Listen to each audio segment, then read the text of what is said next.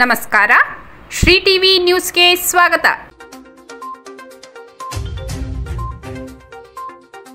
ಸನ್ಮಾನಿತ ಮಹಿಳೆಯರು ಮುಖ್ಯವಾಹಿನಿಗೆ ಬರಬೇಕು.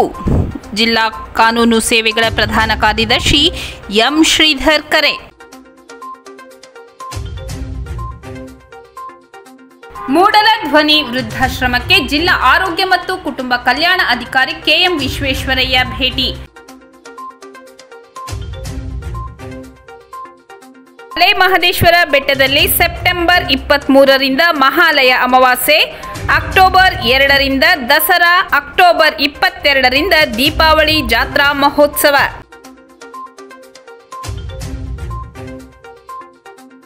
ಸಂತೇಮರಹಳ್ಳಿಯ ಆರ್ಚರಿ ಮತ್ತು ಫೆನ್ಸಿಂಗ್ ಕ್ರೀಡಾ ವಸತಿ ಶಾಲೆಗೆ ಜಿಲ್ಲಾ ಪಂಚಾಯತ್ ಸಿಇಒ ಕೆಎಂ ಗಾಯತ್ರಿ ಭೇಟಿ.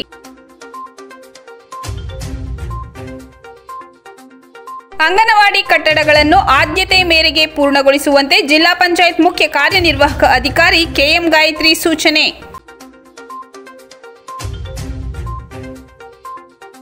ಜೀವನದ ಪಥ ನಿರ್ಧರಿಸುವಲ್ಲಿ ಶಿಕ್ಷಣದ ಪಾತ್ರ ಪ್ರಮುಖವಾಗಿದೆ. ನ್ಯಾಯಾಧೀಶರಾದ ಎಂ ಶ್ರೀಧರ್.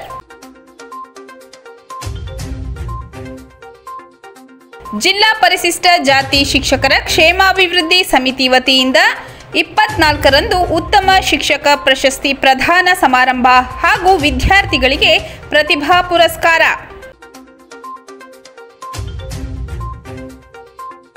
ನಗರದ ಜಿಲ್ಲಾ ಕಾಂಗ್ರೆಸ್ ಕಚೇರಿಯಲ್ಲಿ ಭಾರತ್ ಜೋಡೋ ಯಾತ್ರೆ ಪೂರ್ವಭಾವಿ ಸಭೆ.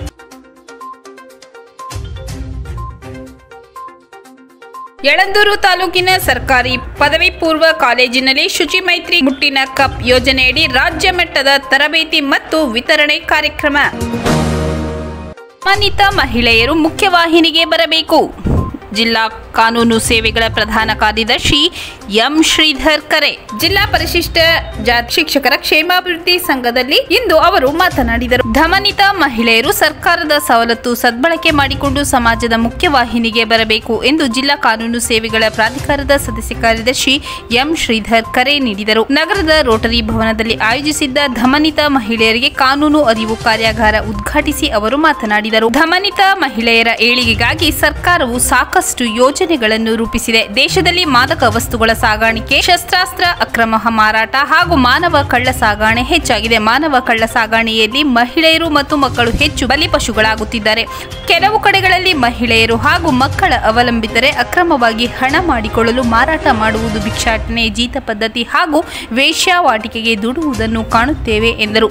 ಇವುಗಳನ್ನು ತಡೆಗಟ್ಟಲು ಪ್ರತಿಯೊಬ್ಬರ ಸಹಕಾರ ಅಗತ್ಯ. ಮಹಿಳೆಯರು ಹಾಗೂ ಮಕ್ಕಳ ಮೇಲಿನ ದೌರ್ಜನ್ಯ ವಿರುದ್ಧ ಹೋರಾಟ ಮಾಡಬೇಕು. ಸರ್ಕಾರದ ಸವಲತ್ತು ಸದ್ಬಳಕೆ ಮಾಡಿಕೊಂಡು ಜೀವನ ಮಟ್ಟ ಸುಧಾರಿಸಿಕೊಳ್ಳಬೇಕು. ಧಮನಿತ ಮಹಿಳೆಯರು ಸವಲತ್ತುಗಳನ್ನು ಪಡೆಯಲು ಸಂಘಟಿತರಾಗಬೇಕೆಂದು ಹೇಳಿದರು. ಧಮನಿತ ಮಹಿಳೆಯರಿಗೆ ಸರ್ಕಾರದ ಸವಲತ್ತು ಸಿಗುವಂತೆ ಮಾಡಲು ಎಲ್ಲ ಇಲಾಖೆಗಳ ಅಧಿಕಾರಿಗಳು ಸಮನ್ವಯತೆಯಿಂದ ಕೆಲಸ ಮಾಡಬೇಕು. ಈ ಮೂಲಕ ಅವರಿಗೆ ಆಗುತ್ತಿರುವ ತೊಂದರೆ ತಪ್ಪಿಸಬಹುದು. ಚೇತನ ಯೋಜನೆಯಡಿ ಮೂವತ್ತು ಸಾವಿರ ಪರಿಹಾರ ಕೊಡುವ ಅವಕಾಶವಿದೆ. ಸ್ವ ಉದ್ಯೋಗ ಮಾಡಲು ಉದ್ಯೋಗ ಮೇಳ ಆಯೋಜನೆ ಮಾಡಬೇಕೆಂದು ತಿಳಿಸಿದರು. ಲೈಂಗಿಕ ಕಾರ್ಯಕರ್ತೆಯರು ಸುರಕ್ಷಿತ ಲೈಂಗಿಕತೆಗೆ ಆದ್ಯತೆ ನೀಡಬೇಕು. ಉತ್ತಮ ಆರೋಗ್ಯದಿಂದಿರಲು ಸುರಕ್ಷಿತ ಲೈಂಗಿಕತೆ ಕಡೆ ಗಮನ ಕೊಡಬೇಕು. ಜನರು ಹಸಿವು ಸೇರಿದಂತೆ ಇತರ ಸಮಸ್ಯೆಗಳಿಂದ ಬಳಲುತ್ತಿದ್ದರೆ ಅದನ್ನು ತಪ್ಪಿಸಿ ಅವರಿಗೆ ಉತ್ತಮ ಬದುಕು ನೀಡಲು ಅಧಿಕಾರಿಗಳು ಮುಂದಾಗಬೇಕೆಂದರು. ಸ್ನೇಹ ಜ್ಯೋತಿ ಸಂಸ್ಥೆಯ ಕಾರ್ಯನಿರ್ವಾಹಕ ಅಧಿಕಾರಿ ಚಂದ್ರಶೇಖರ್ ಪಾಟೀಲ್ ಮಾತನಾಡಿ ಸ್ತ್ರೀಶಕ್ತಿ ಸಂಘಗಳಿಗೆ ನೀಡುವಂತೆ ಧವನಿತ ಮಹಿಳೆಯರಿಗೂ ಸಹಾಯಧನದಡಿ ಸಾಲ ಸೌಲಭ್ಯ ನೀಡಿದರೆ ಅನುಕೂಲವಾಗುತ್ತದೆ. ಇದರಿಂದ ಹೊರಗೆ ಬಡ್ಡಿಗೆ ಸಾಲ ಮಾಡುವುದನ್ನು ತಪ್ಪಿಸಬಹುದು. ಅನೇಕ ಮಹಿಳೆಯರು ಬಾಡಿಗೆ ಮನೆಯಲ್ಲಿ ವಾಸ ಮಾಡುತ್ತಿದ್ದರೆ ಮತ್ತೆ ಕೆಲವರಿಗೆ ಮನೆಗಳಿಲ್ಲ. ಸರ್ಕಾರವು ಸೂಕ್ತ ಪರಿಹಾರ ಒದಗಿಸಿದರೆ ಅನುಕೂಲವಾಗುತ್ತದೆ ಎಂದರು. ಕಾರ್ಯಕ್ರಮದಲ್ಲಿ ಶಿಶು ಅಭಿವೃದ್ಧಿ ಯೋಜನಾಧಿಕಾರಿ ಮೊಹಮ್ಮದ್ ಮುಕ್ತಾರ್, ಜಿಲ್ಲಾ ಕ್ಷಯರೋಗ ಮತ್ತು ಏಡ್ಸ್ ನಿಯಂತ್ರಣಾಧಿಕಾರಿ ಡಾಕ್ಟರ್ ರವಿಕುಮಾರ್, ತಾಲೂಕು ಆರೋಗ್ಯ ಅಧಿಕಾರಿ ಡಾಕ್ಟರ್ ಶ್ರೀನಿವಾಸ್, ರಾಜ್ಯ ಮಹಿಳಾ ಅಭಿವೃದ್ಧಿ ನಿಗಮದ ಅಭಿವೃದ್ಧಿ ನಿರೀಕ್ಷಕಿ ಶಿವಲೀಲಾ ಬೇಟಗಿರಿ, ಎಸ್ಬಿಸಿಸಿ ಜಿಲ್ಲಾ ಸಂಯೋಜಕ ಟಿಜೆ ಸುರೇಶ್, ರೋಟರಿ ಸಂಸ್ಥೆ ಅಧ್ಯಕ್ಷ ಮಹದೇವ್ ಸ್ವಾಮಿ ಜಿಲ್ಲಾ ಏಡ್ಸ್ ನಿಯಂತ್ರಣ ಘಟಕದ ಮೇಲ್ವಿಚಾರಕ ಮಹದೇವ್ ಪ್ರಸಾದ್ ಸೇರಿದಂತೆ ಇತರರು ಹಾಜರಿದ್ದರು. ಮೂಡಲ ಧ್ವನಿ ವೃದ್ಧಾಶ್ರಮಕ್ಕೆ ಜಿಲ್ಲಾ ಆರೋಗ್ಯ ಮತ್ತು ಕುಟುಂಬ ಕಲ್ಯಾಣ ಅಧಿಕಾರಿ ಕೆಎಂ ವಿಶ್ವೇಶ್ವರಯ್ಯ ಭೇಟಿ. ಚಾಮರಾಜನಗರದ ವರ್ತಕರ ಭವನದ ಸಮೀಪವಿರುವ ಮೂಡಲ ಧ್ವನಿ ವೃದ್ಧಾಶ್ರಮಕ್ಕೆ ಜಿಲ್ಲಾ ಆರೋಗ್ಯ ಮತ್ತು ಕುಟುಂಬ ಕಲ್ಯಾಣ ಅಧಿಕಾರಿ ಕೆಎಂ ವಿಶ್ವೇಶ್ವರಯ್ಯ ಅವರು ಭೇಟಿ ನೀಡಿ ವೃದ್ಧಾಶ್ರಮದಲ್ಲಿ ಆಶ್ರಯ ಪಡೆದಿರುವ ವೃದ್ಧರು ಹಾಗೂ ಹಿರಿಯ ನಾಗರಿಕರ ಆರೋಗ್ಯ ವಿಚಾರಿಸಿದರು. ಜಿಲ್ಲಾಧಿಕಾರಿಯವರ ಮೌಖಿಕ ಆದೇಶದ ಮೇರೆಗೆ ಮೂಡಲ ಧ್ವನಿ ವೃದ್ಧಾಶ್ರಮಕ್ಕೆ ಭೇಟಿ ನೀಡಿದ ಜಿಲ್ಲಾ ಆರೋಗ್ಯ ಮತ್ತು ಕುಟುಂಬ ಕಲ್ಯಾಣ ಅಧಿಕಾರಿ ಕೆಎಂ ವಿಶ್ವೇಶ್ವರಯ್ಯ ಅವರು ಹಿರಿಯ ನಾಗರಿಕರು ಹಾಗೂ ವೃದ್ಧರಿಗೆ ಮಧುಮೇಹ, ರಕ್ತದೊತ್ತಡ, ವಯೋಸಹಜ ಕಾಯಿಲೆಗಳ ತಪಾಸಣೆಯನ್ನು ವೈದ್ಯರಿಂದ ನಡೆಸಿದರು. ಇದೇ ವೇಳೆ ಜಿಲ್ಲಾ ಆರೋಗ್ಯ ಮತ್ತು ಕುಟುಂಬ ಕಲ್ಯಾಣ ಅಧಿಕಾರಿ ಕೆಎಂ ವಿಶ್ವೇಶ್ವರಯ್ಯ ಅವರು ವೃದ್ಧಾಶ್ರಮದಲ್ಲಿನ ಹಿರಿಯ ನಾಗರಿಕರು ಹಾಗೂ ವೃದ್ಧರೊಂದಿಗೆ ಮಾತನಾಡಿ, ಪ್ರತಿ ತಿಂಗಳು ಎರಡು ಬಾರಿ ತಜ್ಞ ವೈದ್ಯರಿಂದ ಆರೋಗ್ಯ ತಪಾಸಣೆ ನಡೆಸಿ ಅಗತ್ಯವಿರುವ ಔಷಧಿಗಳನ್ನು ಉಚಿತವಾಗಿ ನೀಡಲಾಗುವುದು. ಹಿರಿಯ ನಾಗರಿಕರಿಗೆ ಹಾಗೂ ವೃದ್ಧರಿಗೆ ಯಾವುದೇ ಸಮಯದಲ್ಲಿ ಆರೋಗ್ಯ ಸಮಸ್ಯೆ ಕಂಡುಬಂದಲ್ಲಿ ತಕ್ಷಣವೇ ಆರೋಗ್ಯ ಇಲಾಖೆಗೆ ಕರೆ ಮಾಡಬೇಕೆಂದು ವೃದ್ಧಾಶ್ರಮದ ಅಧಿಕಾರಿಗಳಿಗೆ ತಿಳಿಸಿದರು. ತಾಲೂಕು ಆರೋಗ್ಯಾಧಿಕಾರಿ ಡಾಕ್ಟರ್ ಶ್ರೀನಿವಾಸ್, ನಗರಸಭಾ ಯೋಜನಾಧಿಕಾರಿ ವೆಂಕಟ ನಾಯಕ್, ಕೌಶಲ್ಯಾಭಿವೃದ್ಧಿ ಅಧಿಕಾರಿ ಪುಟ್ಟಸ್ವಾಮಿ, ಅಮ್ಜದ್ ಪಾಷಾ ಮೂಡಲಧ್ವನಿ ವೃದ್ಧಾಶ್ರಮದ ಅಧ್ಯಕ್ಷರಾದ ಶಂಕರ್, ವ್ಯವಸ್ಥಾಪಕರಾದ ಸಿದ್ದರಾಜು ಈ ಸಂದರ್ಭದಲ್ಲಿ ಹಾಜರಿದ್ದರು. ಮಹದೇಶ್ವರ ಬೆಟ್ಟದಲ್ಲಿ ಸೆಪ್ಟೆಂಬರ್ ಇಪ್ಪತ್ತ್ ಮೂರರಿಂದ ಮಹಾಲಯ ಅಮಾವಾಸ್ಯೆ ಅಕ್ಟೋಬರ್ ಎರಡರಿಂದ ದಸರಾ, ಅಕ್ಟೋಬರ್ ಇಪ್ಪತ್ತೆರಡರಿಂದ ದೀಪಾವಳಿ ಜಾತ್ರಾ ಮಹೋತ್ಸವ. ಹನೂರು ತಾಲೂಕಿನ ಪ್ರಸಿದ್ಧ ಯಾತ್ರಾ ಸ್ಥಳ ಮಲೆ ಮಹದೇಶ್ವರ ಬೆಟ್ಟದಲ್ಲಿ ಸೆಪ್ಟೆಂಬರ್ ಇಪ್ಪತ್ತ್ ಮೂರರಿಂದ ಇಪ್ಪತ್ತಾರರವರೆಗೆ ಮಹಾಲಯ ಅಮಾವಾಸ್ಯೆ ಜಾತ್ರೆ, ಅಕ್ಟೋಬರ್ ಎರಡರಿಂದ ಐದರವರೆಗೆ ದಸರಾ ಜಾತ್ರೆ, ಅಕ್ಟೋಬರ್ ಇಪ್ಪತ್ತೆರಡರಿಂದ ಇಪ್ಪತ್ತಾರರವರೆಗೆ ದೀಪಾವಳಿ ಜಾತ್ರಾ ಮಹೋತ್ಸವ ನಡೆಯಲಿದೆ. ಅಕ್ಟೋಬರ್ ಮೂವತ್ತೊಂದು, ನವೆಂಬರ್ ಏಳು, ಹದಿನಾಲ್ಕು, ಇಪ್ಪತ್ತೊಂದರಂದು ಕಾರ್ತಿಕ ಸೋಮವಾರದ ಜಾತ್ರಾ ಮಹೋತ್ಸವ ನಡೆಯಲಿದೆ. ಸೆಪ್ಟೆಂಬರ್ ಇಪ್ಪತ್ತ ಮೂರರಂದು ಮಹಾಲಯ ಜಾತ್ರಾ ಪ್ರಯುಕ್ತ ವಿಶೇಷ ಪೂಜಾ ಕಾರ್ಯಕ್ರಮಗಳು ಆರಂಭವಾಗಲಿದೆ. ಇಪ್ಪತ್ನಾಲ್ಕರಂದು ಎಣ್ಣೆ ಮಜ್ಜನ, ತೈಲಾಭಿಷೇಕ, ವಿಶೇಷ ಉತ್ಸವ ನಡೆಯಲಿದೆ. ಇಪ್ಪತ್ತೈದರಂದು ಮಹಾಲಯ ಅಮಾವಾಸ್ಯೆ ವಿಶೇಷ ಸೇವೆ ಉತ್ಸವ ನಡೆಯಲಿದ್ದು, ಸೆಪ್ಟೆಂಬರ್ ಇಪ್ಪತ್ತಾರರಂದು ಶರವನ್ ನವರಾತ್ರ ಆರಂಭ, ಉಯ್ಯಾಲೋತ್ಸವ ಪ್ರಾರಂಭ, ಅಕ್ಟೋಬರ್ ನಾಲ್ಕರಂದು ಮಹಾನವಮಿ, ಆಯುಧ ಪೂಜೆ ಅಕ್ಟೋಬರ್ ಐದರಂದು ವಿಜಯದಶಮಿ, ಕುದುರೆ ವಾಹನೋತ್ಸವ, ದಶಮಿ ಪೂಜೆ ನೆರವೇರಲಿದೆ. ಅಕ್ಟೋಬರ್ ಇಪ್ಪತ್ತೆರಡರಂದು ದೀಪಾವಳಿ ಜಾತ್ರಾ ಪ್ರಯುಕ್ತ ವಿಶೇಷ ಕಾರ್ಯಕ್ರಮ ನಡೆಯಲಿದ್ದು, ಅಕ್ಟೋಬರ್ ಇಪ್ಪತ್ಮೂರರಂದು ಎಣ್ಣೆ ಮಜ್ಜನ ಅಭಿಷೇಕ ಸೇವೆ ಉತ್ಸವಾದಿಗಳು, ಅಕ್ಟೋಬರ್ ಇಪ್ಪತ್ನಾಲ್ಕರಂದು ನರಕ ಚತುರ್ದಶಿ ಅಮಾವಾಸ್ಯೆ ಸೇವೆ ಉತ್ಸವಾದಿಗಳು, ಅಕ್ಟೋಬರ್ ಇಪ್ಪತ್ತೈದರಂದು ದೀಪಾವಳಿ ಹಾಲರವೆ ಉತ್ಸವ ನಡೆಯಲಿದೆ. ಅಕ್ಟೋಬರ್ ಇಪ್ಪತ್ತಾರರಂದು ಬೆಳಿಗ್ಗೆ ಒಂಬತ್ತು ಹದಿನೈದಕ್ಕೆ, ಒಂಬತ್ತು ಹದಿನೈದರಿಂದ ನಲವತ್ತೈದರವರೆಗೆ ಮಹಾರಥೋತ್ಸವ ಜರುಗಲಿದೆ. ಅಕ್ಟೋಬರ್ ಇಪ್ಪತ್ತೊಂದರಂದು ಮೊದಲನೇ ಕಾರ್ತಿಕ, ನವೆಂಬರ್ ಎರಡರಂದು ಎರಡನೇ ಕಾರ್ತಿಕ, ನವೆಂಬರ್ ಹದಿನಾಲ್ಕರಂದು ಮೂರನೇ ಕಾರ್ತಿಕ ಪೂಜಾ ಕಾರ್ಯಕ್ರಮಗಳು ನೆರವೇರಲಿದ್ದು ನವೆಂಬರ್ ಇಪ್ಪತ್ತೊಂದರಂದು ನಾಲ್ಕನೇ ಕಾರ್ತಿಕ ಸೋಮವಾರ ಶ್ರೀ ಮಹದೇಶ್ವರ ಜ್ಯೋತಿ ದರ್ಶನ, ನವೆಂಬರ್ ಇಪ್ಪತ್ತೆರಡರಂದು ಕಾರ್ತಿಕ ಎಣ್ಣೆ ಮಜ್ಜನ ಸೇವೆ ಇಪ್ಪತ್ತ್ಮೂರರಂದು ಕಾರ್ತಿಕ ಅಮಾವಾಸ್ಯೆ ವಿಶೇಷ ಸೇವೆ ಉತ್ಸವಾದಿಗಳು ನಡೆಯಲಿವೆ. ಪ್ರತಿದಿನ ಸಂಜೆ ಏಳು ಗಂಟೆಗೆ ಬಂಗಾರದ ರಥೋತ್ಸವ ನೆರವೇರಲಿದ್ದು ವಿಶೇಷ ಸೇವೆ ಉತ್ಸವ ಮತ್ತು ಮಹಾರಥೋತ್ಸವ ಸಾಲೂರು ಬೃಹನ್ಮಠದ ಅಧ್ಯಕ್ಷರಾದ ಶಾಂತ ಮಲ್ಲಿಕಾರ್ಜುನ ಸ್ವಾಮಿ ಅವರ ಮಾರ್ಗದರ್ಶನದಲ್ಲಿ ನೆರವೇರಿದೆ ಎಂದು ಶ್ರೀ ಮಲೆ ಮಹದೇಶ್ವರ ಸ್ವಾಮಿ ಕ್ಷೇತ್ರಾಭಿವೃದ್ಧಿ ಪ್ರಾಧಿಕಾರದ ಪ್ರಾಧಿಕಾರ ಪ್ರಕಟಣೆಯಲ್ಲಿ ತಿಳಿಸಿದೆ.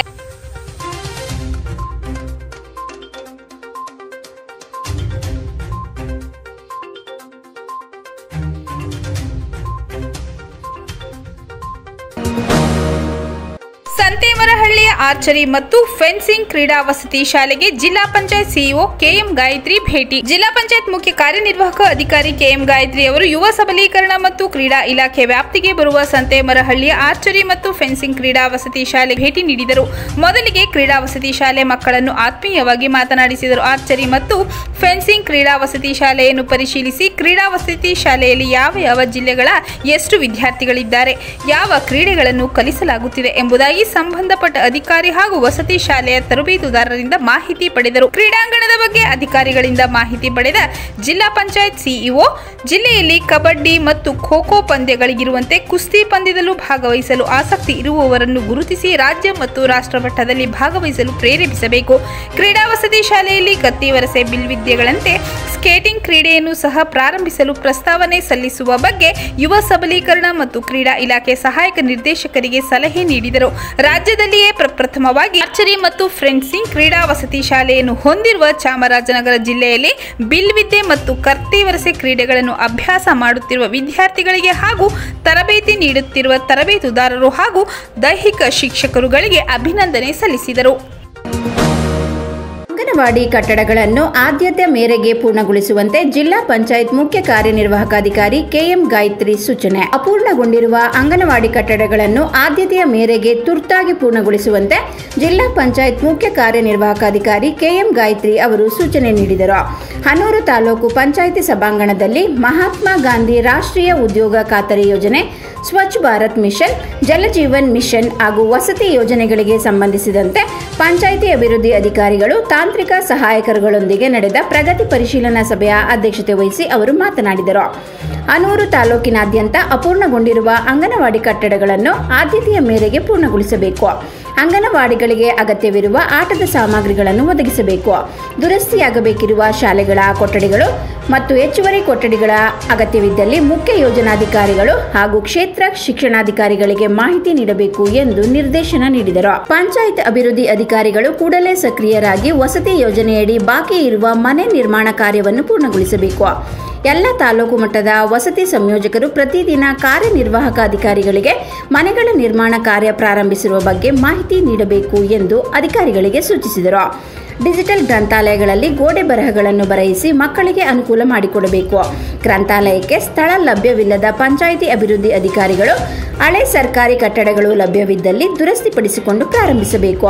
ಸ್ಥಳ ಲಭ್ಯವಿರುವ ಪಂಚಾಯಿತಿ ಅಭಿವೃದ್ಧಿ ಅಧಿಕಾರಿಗಳು ಹೊಸ ಕಟ್ಟಡ ನಿರ್ಮಿಸಲು ಕ್ರಮ ವಹಿಸುವಂತೆ ತಿಳಿಸಿದರು. ಮಹಾತ್ಮ ಗಾಂಧಿ ರಾಷ್ಟ್ರೀಯ ಗ್ರಾಮೀಣ ಉದ್ಯೋಗ ಖಾತರಿ ಯೋಜನೆಯಡಿ ಮಾನವ ದಿನಗಳ ಸೃಜನೆಯಲ್ಲಿ ಕಡಿಮೆ ಪ್ರಗತಿಯನ್ನು ಸಾಧಿಸಿರುವ ಪಂಚಾಯಿತಿ ಅಭಿವೃದ್ಧಿ ಅಧಿಕಾರಿಗಳು ಹೆಚ್ಚಿನ ಪ್ರಗತಿ ಸಾಧಿಸಬೇಕು.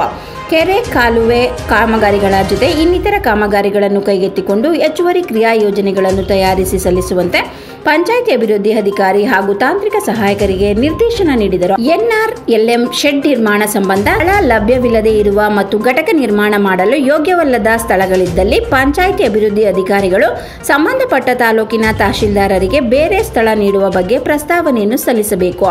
ದ್ರವ ತ್ಯಾಜ್ಯ ನಿರ್ವಹಣೆ ಯೋಜನೆಯಡಿ ವೈಯಕ್ತಿಕ ಇಂಗುಗುಂಡಿ ನಿರ್ಮಿಸಲು ಸ್ಥಳ ಲಭ್ಯವಿಲ್ಲದಿದ್ದಲ್ಲಿ ಸಮುದಾಯ ಇಂಗುಗುಂಡಿ ನಿರ್ಮಾಣ ಕಾಮಗಾರಿಗಳಿಗೆ ಆದ್ಯತೆ ನೀಡುವ ಮೂಲಕ ಅನುಷ್ಠಾನಗೊಳಿಸಲು ಕ್ರಮ ವಹಿಸುವಂತೆ ಜಿಲ್ಲಾ ಪಂಚಾಯತ್ ಮುಖ್ಯ ಕಾರ್ಯನಿರ್ವಾಹಕ ಕೆಎಂ ಗಾಯತ್ರಿ ಅವರು ಅಧಿಕಾರಿಗಳಿಗೆ ಸೂಚಿಸಿದರು. ಜಿಲ್ಲಾ ಪಂಚಾಯತ್ ಮುಖ್ಯ ಯೋಜನಾಧಿಕಾರಿ, ಸಹಾಯಕ ಕಾರ್ಯದರ್ಶಿ, ತಾಲೂಕು ಕಾರ್ಯನಿರ್ವಾಹಕ ಅಧಿಕಾರಿ ಇತರರು ಸಭೆಯಲ್ಲಿ ಹಾಜರಿದ್ದರು. ಹೆಚ್ಚಿನ ಗ್ರಾಮದ ಮಹಿಳಾ ಸದಸ್ಯರುಗಳಿಗೆ ಜಿಲ್ಲಾ ಪಂಚಾಯತ್ ಮುಖ್ಯ ಕಾರ್ಯನಿರ್ವಾಹಕಾಧಿಕಾರಿ ಕೆಎಂ ಗಾಯತ್ರಿ ಅವರಿಂದ ಸೋಲಾರ್ ದೀಪ ವಿತರಣೆ. ಹನೂರು ತಾಲೂಕು ಪಂಚಾಯಿತಿ ಕಚೇರಿಯಲ್ಲಿ ಎನ್ಆರ್ಎಲ್ಎಂ ಯೋಜನೆಯಡಿ ಸಮುದಾಯ ಬಂಡವಾಳ ನಿಧಿ ಮೂಲಕ ಮಹಿಳಾ ಒಕ್ಕೂಟದಲ್ಲಿನ ಕಾಡಂಚಿನ ಗ್ರಾಮದ ಐವತ್ತು ಜನ ಮಹಿಳಾ ಸದಸ್ಯರುಗಳಿಗೆ ಜಿಲ್ಲಾ ಪಂಚಾಯತ್ ಮುಖ್ಯ ಕಾರ್ಯನಿರ್ವಾಹಕಾಧಿಕಾರಿ ಕೆಎಂ ಗಾಯತ್ರಿ ಅವರು ಸೋಲಾರ್ ದೀಪ ವಿತರಿಸಿದರು. ಈ ಸಂದರ್ಭದಲ್ಲಿ ಮುಖ್ಯ ಯೋಜನಾಧಿಕಾರಿ, ಜಿಲ್ಲಾ ಪಂಚಾಯತ್ ಸಹಾಯಕ ಕಾರ್ಯದರ್ಶಿ, ತಾಲೂಕ್ ಪಂಚಾಯಿತಿ ಕಾರ್ಯನಿರ್ವಾಹಕ ಅಧಿಕಾರಿ ಇನ್ನಿತರರು ಹಾಜರಿದ್ದರು. ಜೀವನದ ಪಥ ನಿರ್ಧರಿಸುವಲ್ಲಿ ಶಿಕ್ಷಣದ ಪಾತ್ರ ಪ್ರಮುಖವಾಗಿದೆ. ನ್ಯಾಯಾಧೀಶರಾದ ಎಂ. ಶ್ರೀಧರ್ ಪ್ರತಿಯೊಬ್ಬರ ಜೀವನದ ಪಥ ನಿರ್ಧರಿಸುವುದರಲ್ಲಿ ಶಿಕ್ಷಣದ ಪಾತ್ರ ಪ್ರಮುಖವಾಗಿದೆ ಎಂದು ಹಿರಿಯ ಸಿವಿಲ್ ನ್ಯಾಯಾಧೀಶರು ಹಾಗೂ ಜಿಲ್ಲಾ ಕಾನೂನು ಸೇವೆಗಳ ಪ್ರಾಧಿಕಾರ ಸದಸ್ಯ ಕಾರ್ಯದರ್ಶಿಯವರಾದ ಎಂ. ಶ್ರೀಧರ್ ಅವರು ತಿಳಿಸಿದರು. ನಗರದ ಮೌಲಾನಾ ಆಜಾದ್ ಕಲ್ಯಾಣ ಮಂಟಪದಲ್ಲಿ ಶಾಲಾ ಶಿಕ್ಷಣ ಮತ್ತು ಸಾಕ್ಷರತಾ ಇಲಾಖೆ, ಜಿಲ್ಲಾ ಕಾನೂನು ಸೇವಾ ಪ್ರಾಧಿಕಾರ ಹಾಗೂ ಕಾರ್ಮಿಕ ಇಲಾಖೆ ಮತ್ತು ಆಲ್ಫಲ್ ಉರ್ದು ಶಾಲಾ ಶಿಕ್ಷಕರ ಸಂಘ ಇವರ ಸಂಯುಕ್ತಾಶ್ರಯದಲ್ಲಿ ಎಸ್ಡಿಎಂಸಿ ಸದಸ್ಯರು ಹಾಗೂ ಪೋಷಕರುಗಳಿಗೆ ಆಯೋಜಿಸಲಾಗಿದ್ದ ತಾಲೂಕು ಮಟ್ಟದ ಶೈಕ್ಷಣಿಕ ಜಾಗೃತಿ ಕಾರ್ಯಕ್ರಮವನ್ನು ಉದ್ಘಾಟಿಸಿ ಅವರು ಮಾತನಾಡಿದರು. ದೇಶದ ಅಭಿವೃದ್ಧಿಯಲ್ಲಿ ಶಿಕ್ಷಣದ ಕೊಡುಗೆ ಬಹಳ ಮಹತ್ವ ಪಡೆದುಕೊಂಡಿದೆ. ಸಮುದಾಯದ ಪೋಷಕರು ಮಕ್ಕಳಿಗೆ ಉತ್ತಮ ಶಿಕ್ಷಣವನ್ನು ಕೊಡಿಸಿದಾಗ ಮಾತ್ರ ಅವರ ಜೀವನ ಶೈಲಿಯು ಉತ್ತಮವಾಗಿ ಸುಧಾರಣೆಯಾಗಲಿದೆ. ಉತ್ತಮ ಶಿಕ್ಷಣ ದೇಶ ಅಭಿವೃದ್ಧಿಯತ್ತ ಸಾಗುವಲ್ಲಿ ಮಹತ್ತರ ಪಾತ್ರ ವಹಿಸುತ್ತದೆ ಎಂದರು. ಮಕ್ಕಳ ಶಿಕ್ಷಣಕ್ಕೆ ಬಡತನ ಮುಳ್ಳಾಗಬಾರದು ಎಂದು ಕೇಂದ್ರ ಮತ್ತು ರಾಜ್ಯ ಸರ್ಕಾರಗಳು ಹತ್ತು ಹಲವು ಯೋಜನೆ ಕಾರ್ಯಕ್ರಮಗಳ ಮೂಲಕ ಸೌಲಭ್ಯಗಳನ್ನು ಒದಗಿಸುತ್ತಿದೆ. ಸಮುದಾಯದಲ್ಲಿ ಬಾಲಕಾರ್ಮಿಕ ಪದ್ಧತಿ, ಬಾಲ್ಯ ವಿವಾಹ ಪದ್ಧತಿಯನ್ನು ಸಂಪೂರ್ಣವಾಗಿ ತೊಡೆದುಹಾಕಲು ಶಿಕ್ಷಣವನ್ನು ಕೊಡಿಸುವ ಮೂಲಕ ಮಕ್ಕಳಲ್ಲಿ ಅರಿವು ಮೂಡಿಸುವಂತೆ ಪೋಷಕರಿಗೆ ತಿಳಿಸಿದರು. ಹಿರಿಯ ಕಾರ್ಮಿಕ ಅಧಿಕಾರಿ ವೀಣಾ ಅವರು ಮಾತನಾಡಿ, ಹೆಣ್ಣೊಂದು ಕಲಿತರೆ ಶಾಲೆಯೊಂದು ತೆರೆದಂತೆ. ಹಾಗೆಯೇ ಹೆಣ್ಣು ಸಂಸಾರದ ಕಣ್ಣು ಎಂಬ ನಾಣ್ಣುಡಿಯಂತೆ ಸಮುದಾಯದ ಹೆಣ್ಣು ಮಕ್ಕಳಿಗೆ ಉತ್ತಮ ಶಿಕ್ಷಣ ಕೊಡಿಸುವುದು ಪ್ರತಿಯೊಬ್ಬ ಪೋಷಕರ ಆದ್ಯ ಕರ್ತವ್ಯವಾಗಿದೆ. ಮಹಿಳೆಯರನ್ನು ಎಲ್ಲ ಕ್ಷೇತ್ರಗಳಲ್ಲೂ ಮುಂಚೂಣಿಗೆ ತರುವ ಜವಾಬ್ದಾರಿ ನಮ್ಮೆಲ್ಲರ ಮೇಲಿದೆ ಎಂದರು. ಬಾಲ ಕಾರ್ಮಿಕ ಇಲಾಖೆಯ ಯೋಜನಾ ನಿರ್ದೇಶಕರಾದ ಮಹೇಶ್ ಮಾತನಾಡಿ, ಬಾಲ್ಯ ವಿವಾಹ ಬಾಲ ಕಾರ್ಮಿಕ ಪದ್ಧತಿಯನ್ನು ನಿರ್ಮೂಲನೆ ಮಾಡುವುದು ಕೇವಲ ಇಲಾಖೆಗಳ ಕೆಲಸವಲ್ಲ. ಬದಲಾಗಿ ಪೋಷಕರ ಪಾತ್ರ ಪ್ರಮುಖವಾಗಿದೆ. ಜಿಲ್ಲೆಯು ಬಾಲಕಾರ್ಮಿಕ ಮುಕ್ತ ಜಿಲ್ಲೆಯಾಗಲು ಪ್ರತಿಯೊಬ್ಬರ ಸಹಕಾರ ಅತ್ಯಗತ್ಯ ಎಂದರು. ಕ್ಷೇತ್ರ ಶಿಕ್ಷಣಾಧಿಕಾರಿ ಸೋಮಣ್ಣೇಗೌಡ ಅವರು ಮಾತನಾಡಿ, ಶಾಲೆ ಬಿಟ್ಟ ಮಕ್ಕಳನ್ನು ಗುರುತಿಸಿ, ಶಿಕ್ಷಣದ ಅರಿವು ಮೂಡಿಸಿ ಮುಖ್ಯ ವಾಹಿನಿಗೆ ತರುವುದರಲ್ಲಿ ಎಸ್ಡಿಎಂಸಿ ಸದಸ್ಯರು, ಸಂಘ ಸಂಸ್ಥೆಗಳು, ಶಿಕ್ಷಕರು ಹಾಗೂ ಪೋಷಕರ ಪಾತ್ರ ಅಪಾರವಾಗಿದೆ. ಈ ನಿಟ್ಟಿನಲ್ಲಿ ಎಲ್ಲರೂ ಸಕ್ರಿಯರಾಗಬೇಕು ಎಂದರು. ನಗರಸಭಾ ಸದಸ್ಯ ಅಬ್ರರ್ ಅಹಮದ್ ಮಾತನಾಡಿ, ಗುರುಗಳ ಮಾರ್ಗದರ್ಶನದಲ್ಲಿ ಶಿಕ್ಷಣ ಪಡೆದು ಅದನ್ನು ಜೀವನದಲ್ಲಿ ಅಳವಡಿಸಿಕೊಂಡಾಗ ಮಾತ್ರ ಸಮಾಜದ ಪ್ರಜೆಯಾಗಲು ಸಾಧ್ಯ. ಮಕ್ಕಳ ಭವಿಷ್ಯ ರೂಪಿಸುವಲ್ಲಿ ತಂದೆ ತಾಯಿಯರ ಹೆಚ್ಚಿನ ಕಾಳಜಿ ಅಪಾರವಾಗಿದೆ.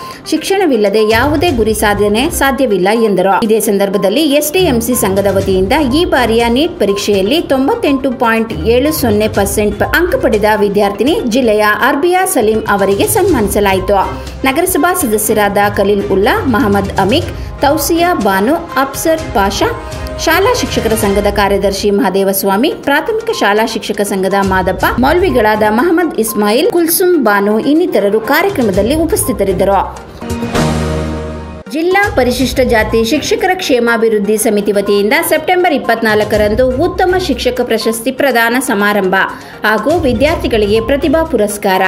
ಚಾಮರಾಜನಗರ ಜಿಲ್ಲಾ ಪರಿಶಿಷ್ಟ ಜಾತಿ ಪ್ರಾಥಮಿಕ ಶಾಲಾ ಶಿಕ್ಷಕರ ಕ್ಷೇಮಾಭಿವೃದ್ಧಿ ಸಮಿತಿ ಜಿಲ್ಲಾ ಕಾರ್ಯಕಾರಿ ಸಮಿತಿ ಸಭೆಯಲ್ಲಿ ಅಧ್ಯಕ್ಷರಾದ ಸಿಕೆ ರಾಮಸ್ವಾಮಿ ಮಾತನಾಡಿ ಸೆಪ್ಟೆಂಬರ್ ಇಪ್ಪತ್ನಾಲ್ಕರಂದು ಬೆಳಗ್ಗೆ ಹತ್ತು ಮೂವತ್ತಕ್ಕೆ ಚಾಮರಾಜನಗರದ ಜೆಎಚ್ ಪಟೇಲ್ ಸಭಾಂಗಣದಲ್ಲಿ ಜಿಲ್ಲಾ ಮಟ್ಟದ ಉತ್ತಮ ಶಿಕ್ಷಕ ಪ್ರಶಸ್ತಿ ಪ್ರದಾನ ಹಾಗೂ ಎಸ್ಎಸ್ಎಲ್ಸಿ ಮತ್ತು ಪಿಯುಸಿ ಪರೀಕ್ಷೆಯಲ್ಲಿ ಹೆಚ್ಚು ಅಂಕ ಪಡೆದ ಮಕ್ಕಳಿಗೆ ಪ್ರತಿಭಾ ಪುರಸ್ಕಾರ, ಶೈಕ್ಷಣಿಕ ಕಾರ್ಯಾಗಾರ ಏರ್ಪಡಿಸಿದ್ದು ಶಿಕ್ಷಕರು ಹೆಚ್ಚಿನ ಸಂಖ್ಯೆಯಲ್ಲಿ ಭಾಗವಹಿಸಲು ಹೇಳಿದರು.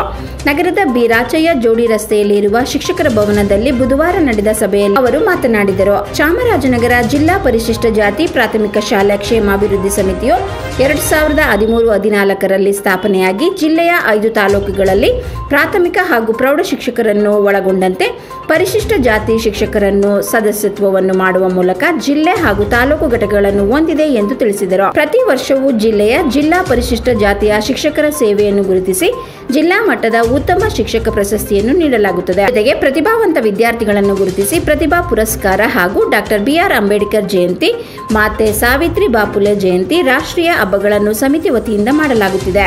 ಈ ಬಾರಿ ದಿನಾಂಕ ಇಪ್ಪತ್ನಾಲ್ಕರಂದು ಜೆಎಚ್ ಪಟೇಲ್ ಸಭಾಂಗಣದಲ್ಲಿ ಕಾರ್ಯಕ್ರಮವನ್ನು ನಡೆಸಲಾಗುವುದು. ಕಾರ್ಯಕ್ರಮದಲ್ಲಿ ಹಲವಾರು ಗಣ್ಯರು ಭಾಗವಹಿಸಲಿದ್ದಾರೆ ಎಂದು ಹೇಳಿದರು. ಸಭೆಯಲ್ಲಿ ಪ್ರಧಾನ ಕಾರ್ಯದರ್ಶಿ ನಂಜುಂಡಸ್ವಾಮಿ ಖಜಾನ್ಸಿ ಬಿಎನ್ ಶೀಲಾದೇವಿ, ಉಪಾಧ್ಯಕ್ಷರಾದ ಮುರುಗೇಶ್ ಕುಮಾರ್, ಇನ್ನೂ ಮುಂತಾದವರು ಹಾಜರಿದ್ದರು. ನಗರದ ಜಿಲ್ಲಾ ಕಾಂಗ್ರೆಸ್ ಕಚೇರಿಯಲ್ಲಿ ಭಾರತ್ ಜೋಡೋ ಯಾತ್ರೆ ಪೂರ್ವಭಾವಿ ಸಭೆ. ಚಾಮರಾಜನಗರ ರಾಜ್ಯ ಕಾಂಗ್ರೆಸ್ ಹಮ್ಮಿಕೊಂಡಿರುವ ಭಾರತ್ ಜೋಡೋ ಯಾತ್ರೆ ಸಂಬಂಧ ನಗರದ ಜಿಲ್ಲಾ ಕಾಂಗ್ರೆಸ್ ಸಮಿತಿ ಕಚೇರಿಯಲ್ಲಿ ಪೂರ್ವಭಾವಿ ಸಭೆ ನಡೆಯಿತು. ಜಿಲ್ಲಾ ಕಾಂಗ್ರೆಸ್ ಅಧ್ಯಕ್ಷರಾದ ಪಿ ಮರಿಸ್ವಾಮಿ ಮಾತನಾಡಿ, ಭಾರತ್ ಜೋಡೋ ಯಾತ್ರೆ ಯಶಸ್ವಿಯಾಗುವ ನಿಟ್ಟಿನಲ್ಲಿ ಜಿಲ್ಲೆಯ ಗ್ರಾಮ ಪಂಚಾಯಿತಿ ಹಾಗೂ ಬ್ಲಾಕ್ ಮಟ್ಟದಲ್ಲಿ ಸಭೆ ಆಯೋಜಿಸಿ ಕಾರ್ಯಕ್ರಮದ ಬಗ್ಗೆ ಮಾಹಿತಿ ನೀಡಲಾಗುವುದು. ಜಿಲ್ಲೆಯ ನಾಲ್ಕು ತಾಲೂಕು ಕೇಂದ್ರಗಳಿಂದ ನಲವತ್ತು ಸಾವಿರಕ್ಕೂ ಹೆಚ್ಚಿನ ಸಂಖ್ಯೆಯಲ್ಲಿ ಭಾಗವಹಿಸಿ ರಾಹುಲ್ ಗಾಂಧಿ ಅವರನ್ನು ಅದ್ದೂರಿಯಾಗಿ ಸ್ವಾಗತಿಸಬೇಕು ಎಂದರು. ಸಭೆಯಲ್ಲಿ ಜಿಲ್ಲಾ ವೀಕ್ಷಕರಾದ ಅಕ್ಬರ್ ಅಲಿಂ ಮಾತನಾಡಿ, ಜಿಲ್ಲೆಯ ಗುಂಡ್ಲುಪೇಟೆ ಪಟ್ಟಣದಲ್ಲಿ ಸೆಪ್ಟೆಂಬರ್ ಮೂವತ್ತರಂದು ಎಐಸಿಸಿ ಅಧ್ಯಕ್ಷರಾದ ರಾಹುಲ್ ಗಾಂಧಿ ನೇತೃತ್ವದಲ್ಲಿ, ರಾಹುಲ್ ಗಾಂಧಿ ನೇತೃತ್ವದಲ್ಲಿ ಚಾಲನೆ ಸಿಗುವ ಭಾರತ್ ಜೋಡೋ ಯಾತ್ರೆಯ ಯಶಸ್ಸಿಗೆ ಜಿಲ್ಲೆಯ ಜನತೆ ಕೈಜೋಡಿಸಬೇಕು. ಕಾರ್ಯಕರ್ತರು, ಮುಖಂಡರು ಹೆಚ್ಚಿನ ಸಂಖ್ಯೆಯಲ್ಲಿ ಭಾಗವಹಿಸಬೇಕು ಎಂದು ಹೇಳಿದರು. ಇದೇ ಸಂದರ್ಭದಲ್ಲಿ ಜಿಲ್ಲಾ ಕಾಂಗ್ರೆಸ್ ಉಪಾಧ್ಯಕ್ಷರಾದ ಬಿಕೆ ರವಿಕುಮಾರ್ ಒಬಿಸಿ ರಾಜ್ಯ ಪ್ರಧಾನ ಕಾರ್ಯದರ್ಶಿ ಸಿಎ ಮಹಾದೇವ ಶೆಟ್ಟಿ, ಜಿಲ್ಲಾ ಕಾಂಗ್ರೆಸ್ ಮಾಜಿ ಅಧ್ಯಕ್ಷರಾದ ಸದಾಶಿವಮೂರ್ತಿ, ಬ್ಲಾಕ್ ಕಾಂಗ್ರೆಸ್ ಅಧ್ಯಕ್ಷರಾದ ಎಎಸ್ ಗುರುಸ್ವಾಮಿ, ಮಹಮ್ಮದ್ ಅಸ್ಕರ್ ಮುನ್ನಾ, ಜಿಲ್ಲಾ ಪ್ರಧಾನ ಕಾರ್ಯದರ್ಶಿಗಳಾದ ಆರ್ ಮಹಾದೇವ, ಚಿಕ್ಕ ಮಹಾದೇವ, ನಗರಸಭಾ ಸದಸ್ಯರಾದ ಕೆಪಿಸಿಸಿ ಸೈಯದ್ ರಫಿ, ಚಿನ್ನಮ್ಮ, ಭಾಗ್ಯಮ್ಮ, ಶಿವಕುಮಾರ್ ರಾಮಸಮುದ್ರ ಸೇರಿದಂತೆ ಕಾಂಗ್ರೆಸ್ ಮುಖಂಡರು, ಕಾರ್ಯಕರ್ತರು ಹಾಜರಿದ್ದರು. ಯಳಂದೂರು ತಾಲೂಕಿನ ಸರ್ಕಾರಿ ಪದವಿ ಪೂರ್ವ ಕಾಲೇಜಿನಲ್ಲಿ ಶುಚಿ ಮೈತ್ರಿ ಮುಟ್ಟಿನ ಕಪ್ ಯೋಜನೆಯಡಿ ರಾಜ್ಯ ಮಟ್ಟದ ತರಬೇತಿ ಮತ್ತು ವಿತರಣೆ ಕಾರ್ಯಕ್ರಮ. ಚಾಮರಾಜನಗರದ ಯಳಂದೂರು ತಾಲೂಕಿನ ಸರ್ಕಾರಿ ಪದವಿ ಪೂರ್ವ ಕಾಲೇಜಿನಲ್ಲಿ ಶುಚಿ ಮೈತ್ರಿ ಮುಟ್ಟಿನ ಕಪ್ ಯೋಜನೆಯಡಿ ರಾಜ್ಯ ಮಟ್ಟದ ತರಬೇತಿ ಮತ್ತು ವಿತರಣೆ ಕಾರ್ಯಕ್ರಮ ನಡೆಯಿತು. ಸರ್ಕಾರಿ ಪದವಿ ಪೂರ್ವ ಕಾಲೇಜು ಹಾಗೂ ವಿಜಿಕೆಕೆ ಪದವಿ ಪೂರ್ವ ಕಾಲೇಜಿನ ನೂರ ಐವತ್ತಕ್ಕೂ ಹೆಚ್ಚು ಹೆಣ್ಣು ಮಕ್ಕಳಿಗೆ ತರಬೇತಿ ನೀಡಿ ಮುಟ್ಟಿನ ಕಪ್ ವಿತರಣೆ ಮಾಡಿದರು. ಕಾರ್ಯಕ್ರಮದಲ್ಲಿ ಉಪನಿರ್ದೇಶಕರಾದ ಡಾಕ್ಟರ್ ವೀಣಾ ವಿ ರವರು ಮೈತ್ರಿ ಮುಟ್ಟಿನ ಕಪ್ನ ಬಳಕೆ ಕುರಿತು ಹದಿಹರೆಯದ ಹೆಣ್ಣು ಮಕ್ಕಳಿಗೆ ತರಬೇತಿ ನೀಡಿದರು. ಕಾರ್ಯಕ್ರಮದಲ್ಲಿ ಸಮಾಲೋಚಕರಾದ ಡಾಕ್ಟರ್ ನಿಂಗದಹಳ್ಳಿ ಸಿದ್ದರಾಮ್ ಜಿಲ್ಲಾ ಆರ್ಸಿಎಚ್ ಅಧಿಕಾರಿ ಡಾಕ್ಟರ್ ಮಂಜುನಾಥ್, ಪ್ರಾಂಶುಪಾಲರಾದ ಉಮೇಶ್, ನಂದಿನಿ, ಉಪ ಪ್ರಾಂಶುಪಾಲರಾದ ನಂಜುಂಡಯ್ಯ ಹಾಗೂ ಉಪನ್ಯಾಸಕ ವೃಂದ ಮತ್ತು ವಿದ್ಯಾರ್ಥಿಗಳು ಹಾಜರಿದ್ದರು. ಮತ್ತೊಮ್ಮೆ ಮುಖ್ಯಾಂಶಗಳು. ಸನ್ಮಾನಿತ ಮಹಿಳೆಯರು ಮುಖ್ಯವಾಹಿನಿಗೆ ಬರಬೇಕು. ಜಿಲ್ಲಾ ಕಾನೂನು ಸೇವೆಗಳ ಪ್ರಧಾನ ಕಾರ್ಯದರ್ಶಿ ಎಂ ಶ್ರೀಧರ್ ಕರೆ. ಮೂಡಲ ಧ್ವನಿ ವೃದ್ಧಾಶ್ರಮಕ್ಕೆ ಜಿಲ್ಲಾ ಆರೋಗ್ಯ ಮತ್ತು ಕುಟುಂಬ ಕಲ್ಯಾಣ ಅಧಿಕಾರಿ ಕೆಎಂ ವಿಶ್ವೇಶ್ವರಯ್ಯ ಭೇಟಿ.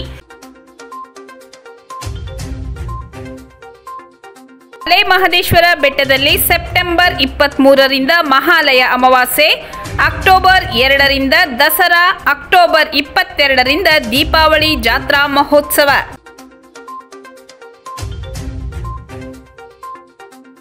ಸಂತೇಮರಹಳ್ಳಿಯ ಆರ್ಚರಿ ಮತ್ತು ಫೆನ್ಸಿಂಗ್ ಕ್ರೀಡಾ ವಸತಿ ಶಾಲೆಗೆ ಜಿಲ್ಲಾ ಪಂಚಾಯತ್ ಸಿಇಒ ಕೆಎಂ ಗಾಯತ್ರಿ ಭೇಟಿ.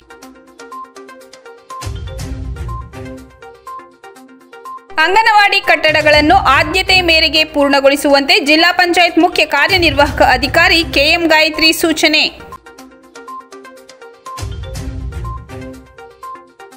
ಜೀವನದ ಪಥ ನಿರ್ಧರಿಸುವಲ್ಲಿ ಶಿಕ್ಷಣದ ಪಾತ್ರ ಪ್ರಮುಖವಾಗಿದೆ.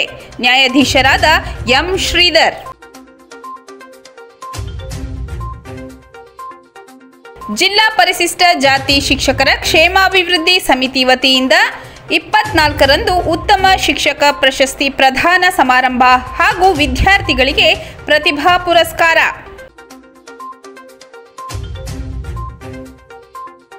ನಗರದ ಜಿಲ್ಲಾ ಕಾಂಗ್ರೆಸ್ ಕಚೇರಿಯಲ್ಲಿ ಭಾರತ್ ಜೋಡೋ ಯಾತ್ರೆ ಪೂರ್ವಭಾವಿ ಸಭೆ.